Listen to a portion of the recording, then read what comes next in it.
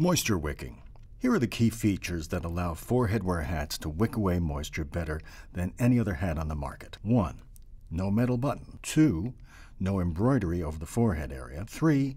Cocona fabric found on the golfer style and runner style hats. 4. Patent pending sweat banded design found on the all activity hat. This simple demonstration clearly shows the difference between our hats and traditional styles.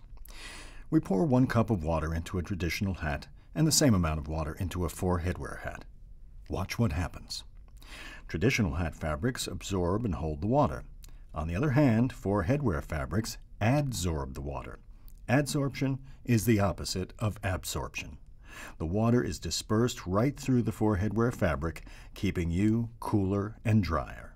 Four headwear, use your head. Feel the difference.